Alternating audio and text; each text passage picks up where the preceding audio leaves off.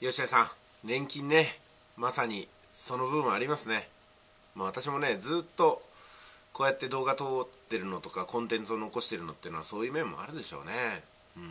さすがに10万本の動画アップロードがあって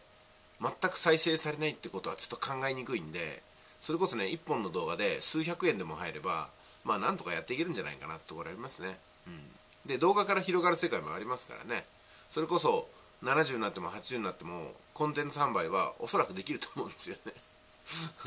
まあそんな感じでね、えー、日々積み重ねていきましょう。まあというよりも根底には私この動画好きなんですよねなんかね。この活動は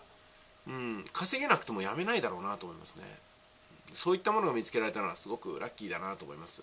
あの本当好きなことのために何かができるとかね。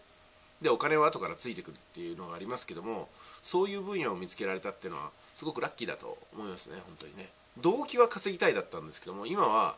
稼げてるになっちゃったかなというところでございます。いやあちなみにねあのあれですね。今ね広島でね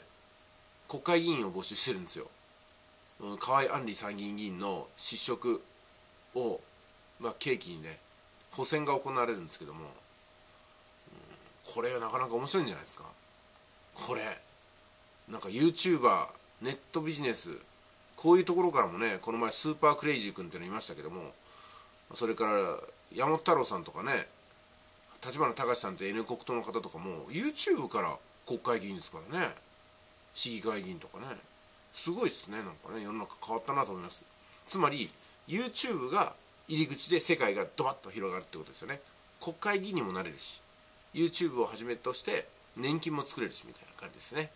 YouTube やらないとちょっとねうんなんか開けるドアっていうのが少ないのかなって気がしますよね。YouTube 依存ですねこれはね。グッドラック